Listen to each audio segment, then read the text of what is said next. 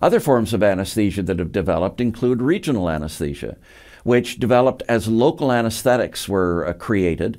And one of the first people involved in this story was Sigmund Freud, who thought that cocaine uh, would be both a useful medication uh, and felt that it would be particularly useful in the treatment of depression.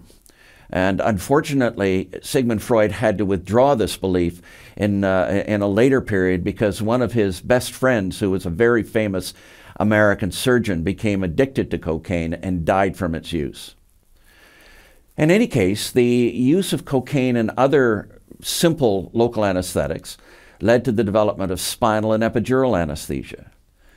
And we can now com- provide complete loss of sensation to many parts of the body, uh, and particularly the limbs, uh, for, for surgery.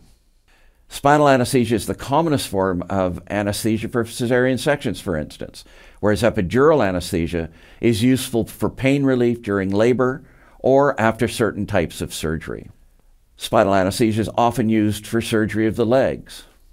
With modern ultrasound equipment, it's now possible to pass a needle directly to a nerve without perforating the nerve or hitting blood vessels under direct vision using ultrasound.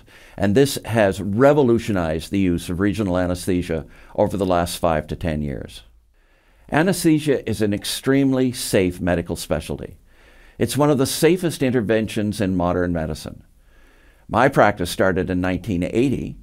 At that time, people used to die on the operating room table. In 2014, it's extraordinarily rare for this to happen. In developed countries, the mortality rate from general anesthesia is usually stated to be around 1 in 10,000 or maybe as high as 1 in 20,000. The rate is much lower, however, in young, healthy individuals. Also, in developed countries, the rate of permanent neurologic damage from spinal or epidural anesthesia is less than 1 in 100,000.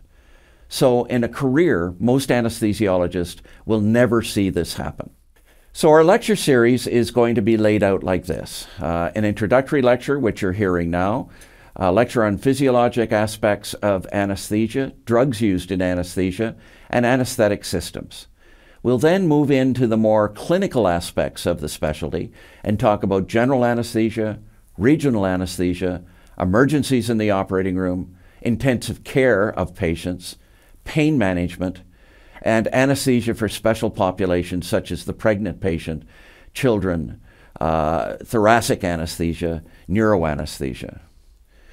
And then at the very end, we'll summarize everything and we'll have a short discussion about anesthesia uh, and its use in other medical disciplines and the future of anesthesia and some of the opportunities for young anesthesiologists opening into the future. So, in this lecture, we've summarized uh, the history of anesthesiology and given you a bit of an overview of what general anesthesia and regional anesthesia look like. We're going to go into a great more detail in the subsequent lectures, and I hope you join us for those.